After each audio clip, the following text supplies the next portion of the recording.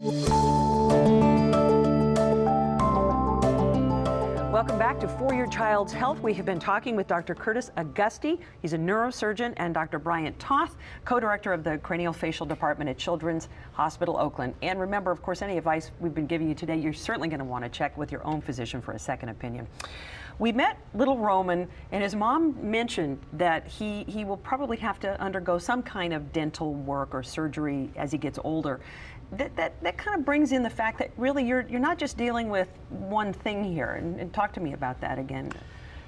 In cleft lip and palate, someone like myself, a plastic surgeon, deals with the cleft of the lip and cleft of the palate, but you must remember that in addition to this, there are a variety of other problems. And the beauty of what we've created at Children's is a is a group of specialists, a multidisciplinary group that meets on a regular basis. Most people as a gift from their heart because they love to deal with these particular problems. We meet together and treat those issues. And yes, every child that has a complete cleft of the lip and palate has dental related issues. They have a little cleft in their gum line. An oral surgeon, for example, will need to fill that. They will need pediatric dentistry to keep the hygiene of their teeth. They also will need orthodontia yeah. uh, in the future. They have hearing related issues potentially, so the Uh, otolaryngologist needs to be involved.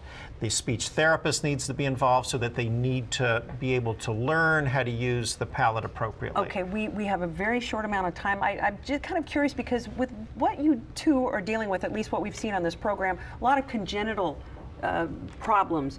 Uh, do you ever get kids that come in and say that it, it, it happened after the fact, say a terrible accident, or what, what are you actually dealing with? Your more challenging. Yeah, sure. I, I, think um, again, uh, Brian was touching on the beauty of having a practice like this is that we, we can work together. Um, if a child comes in, especially to a place like Children's Hospital Oakland, where it is a level one trauma center for kids, um, and they have complex uh, lacerations or fractures of the face and the skull, um, that's the case that, that Brian and I would work together very closely to again um, make sure that we, we have the optimal outcome um, for the kids.